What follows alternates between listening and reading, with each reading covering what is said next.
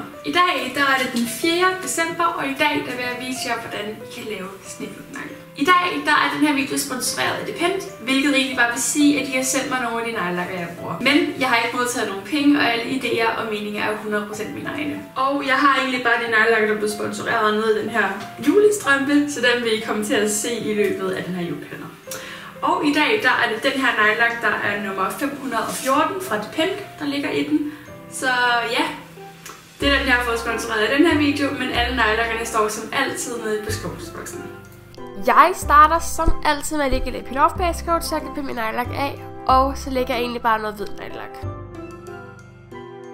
Så tager jeg en svamp, hvor jeg lægger hvid nejlak på den ene halvdel, og blå nejlak på den anden halvdel, og så dupper jeg det egentlig bare på min negl, indtil jeg er tilfreds med, hvordan det ser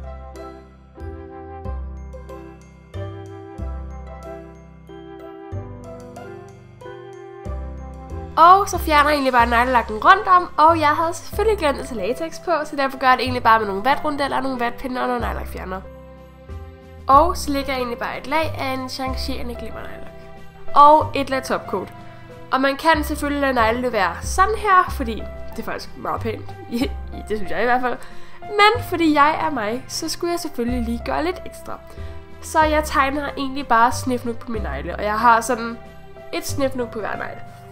Så ja, det er bare hvid neglelak og en pensel, og så tegner jeg et stiftnuk. Og jeg dækker ret meget for neglen med min anden hånd, men uh, ja, sådan er det nu bare.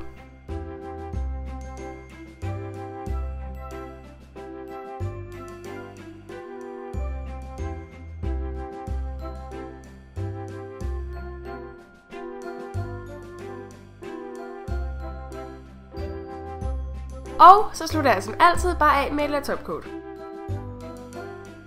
Og det er sådan, det her negle med sig ud. Og jeg tror faktisk, at det her det er nogle af mine absolut yndlingsnegle fra hele julekalenderen. Så jeg er rimelig godt tilfreds med dem her.